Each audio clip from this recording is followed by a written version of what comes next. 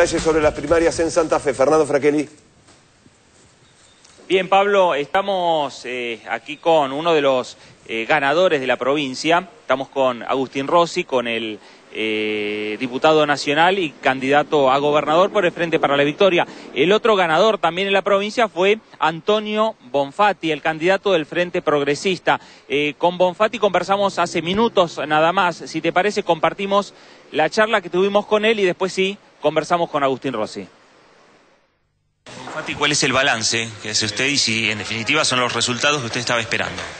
Bueno, en base a los eh, números, a las encuestas que manejamos, este era más o menos el guarismo, únicamente invertido el orden del 2 y el 3 que teníamos los mismos números, pero invertidos los candidatos.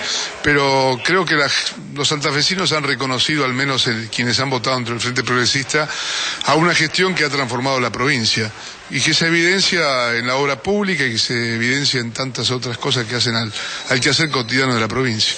¿Cuál es el puntaje que ustedes piensan que le puso la gente? Haber ganado las elecciones primarias con el 45% de los votos dentro del Frente Progresista. Este es el puntaje. ¿Ha hablado con Justinelli? Sí, con Rubén hablamos anoche cerca de las 9.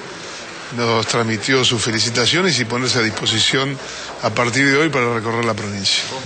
Mario Barleta nos llamó tipo una y media de la madrugada. ¿Esperaba un llamado de Ricardo Alfonsín?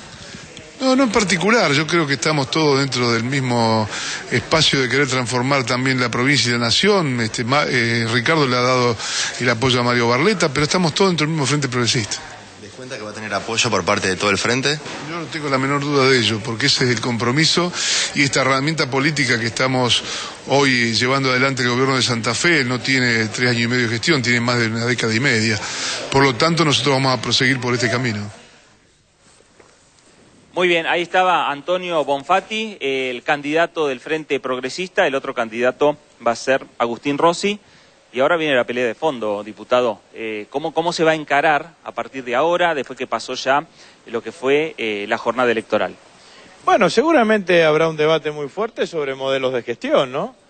El, eh, el doctor Bonfatti reivindicará lo hecho por el actual gobernador y planteará una estrategia de continuidad de la actual gestión y nosotros creemos que la gestión tiene que tener un cambio, que tiene que haber una gestión que que, se asemeje y que tome las pautas y los parámetros de lo que ha hecho la Presidenta de la Nación a nivel nacional, que nosotros creemos firmemente que, los próximos cuatro años los santafesinos tenemos que aprovechar del trabajo conjunto entre Nación y provincia y, que allí seguramente estará planteado alguno de los debates importantes durante esta campaña. ¿no?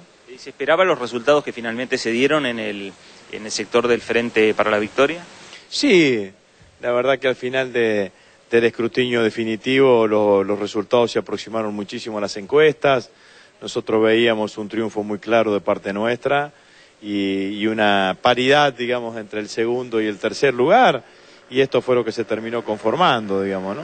También hay que decir que como dato importante, si bien no significa la traslación automática de ninguna de, hacia las elecciones del 24 de julio, pero me parece que es un dato a tener en cuenta y que todos vamos a considerar es que eh, el Frente Santa Fe para Todos, que integra el Partido Justicialista, sacó 30.000 votos más que el Frente Cívico que integran radicales y socialistas. Me parece que ese es un dato a tener en cuenta. ¿no?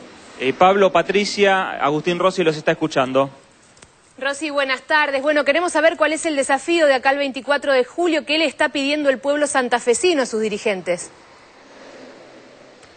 Bueno, me parece que nosotros vamos a volver a recorrer la provincia, eh, afianzando más la propuesta con la cual la hemos recorrido durante todos estos meses eh, y planteando claramente un desarrollo mayor de los objetivos que nos hemos propuesto durante esta campaña electoral. Eh, pero fundamentalmente nosotros lo que le vamos a poner, le vamos a proponer a los santafesinos es un camino de progreso.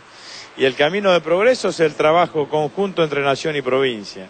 Esa relación tiene que ser una relación de complementación, no tiene que ser una relación falsamente politizada o alcanzada por la politicaría, digamos que es el lugar en donde la ha puesto muchas veces el gobernador de la provincia, que permanentemente, con tal de quedar simpático con los santafesinos, ha criticado eh, y, ha, y ha echado culpas donde no la tenía que echar, que es en el gobierno nacional, ¿no?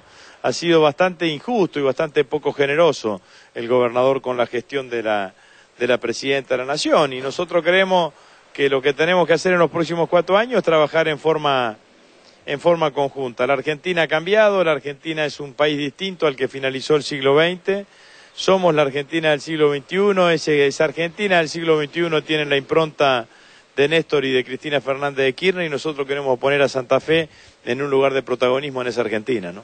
Rossi recién decía cuando comenzaba el diálogo de Santa Fe que la campaña va a estar centrada en un debate que va a tener que ver necesariamente con dos modelos de gestión. Eh, por un lado el del actual gobernador y por otro el que usted quiere imponer si es electo gobernador de la provincia de Santa Fe. Justamente si el próximo 24 de julio usted gana las elecciones, luego de asumir como gobernador, ¿cuáles son las dos o tres medidas eh, que usted considera necesarias, inmediatas para la provincia? y hay que resolver el tema de la seguridad y creo que el segundo tema que es imprescindible es avanzar con una política agresiva en materia de vivienda. Son los dos temas que nosotros creo que de la provincia tenemos que abordar en forma inmediata. Muy bien, Agustín Rossi, gracias por este diálogo con Visión 7. Fernando. Bueno, muchísimas gracias. ¿eh? Por favor. Bueno, muy bien. Ahora Agustín Rossi ya en minutos nada más va a partir para la ciudad de Buenos Aires. La actividad del Parlamento también lo requiere allí en la capital federal. Ustedes, por favor. Muy bien, Fernando Fraquelli, allí el trabajo en vivo desde la provincia de Santa Fe el día después de las primarias.